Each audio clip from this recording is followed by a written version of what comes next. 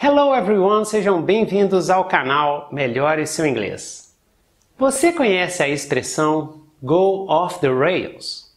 To go off the rails ou sair dos trilhos significa que algo deu errado ou não saiu como esperado.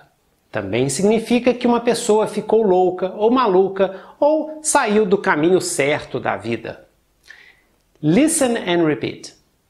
Ele ficou louco depois que seu pai morreu. He went off the rails after his father died. He went off the rails after his father died. O filho deles está saindo da linha. Their kid is going off the rails. Their kid is going off the rails.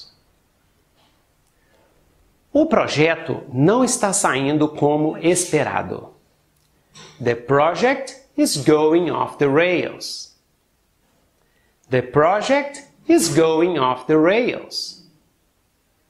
Nosso projeto começou a dar errado desde que o diretor se demitiu.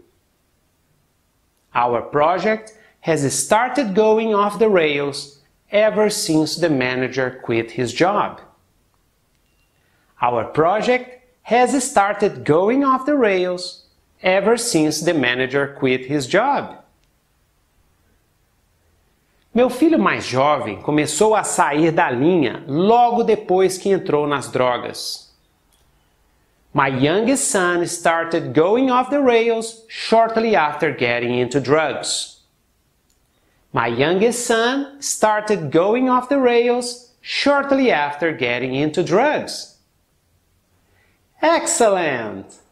Faça agora uma frase usando Going Off the Rails nos comentários abaixo e melhore seu inglês. Siga o Melhore Seu Inglês no Instagram, no Facebook e procure pelo podcast Melhore Seu Inglês no seu programa de podcast.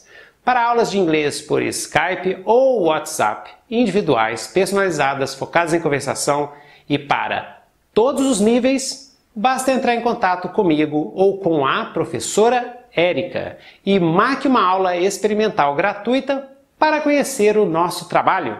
Fica aqui um grande abraço and see you next class!